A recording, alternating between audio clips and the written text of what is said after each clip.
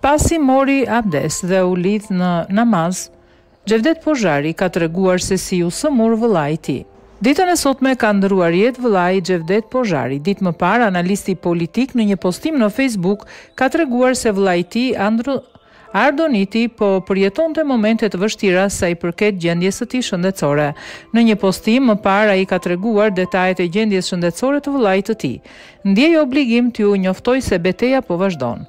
Trimi i vllaut po ushqehet me dashninë, dhembjen dhe lutjet e juaja. Gjendja është stabile, por vazhdon të jetë kritike pas gjakderdhjes së befasishme në tru në një pjesë tepër të ndjeshme ku gjasat e mbijetesës nuk janë të mëdha, Por shpresë gjithmonë ka.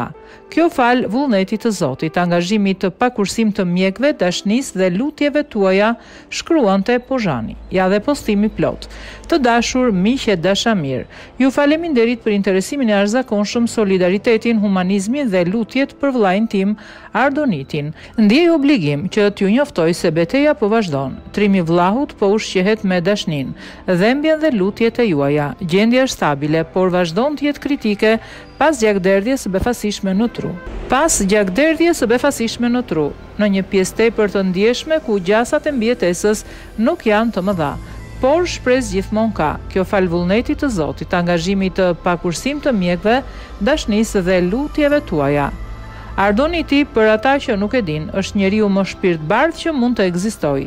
Një engjëll që ecën në tokë. Është mburrja ime. Të premten e kaluar, kur është zgjuar për të dalë në punë dhe për të bërë shpërndarjen e produkteve të firmës në të cilën punon, me ardhjen e kohës së faljes së namazit të xhumasë, u ndal aty ku e ka zënë orari, në një xhami në Istog. Ka parkuar veturën dhe ka shkuar të marrë abdes. Para se të përfundonte abdesin dhe të lidhet në namaz me Krijuesin, gjendja i keqësohet vetvetiu papritur dhe humb ndjenjat. Falenderoj të gjithë njerëzit që kanë intervenuar shpejt në ato momente derisa ne familja brenda pak minutave jemi vënë në dijeni. Gjakderdhja në trurin e mesëm ka qenë shumë serioze, operimi ka zgjatur thuajse katër orë.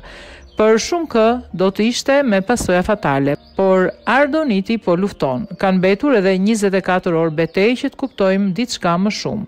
Lajmin e fundit të mirë që kam marrë nga ai ishte se këtë vit kishte vendosur ta kurorëzonte dashurinë e tij me martesë.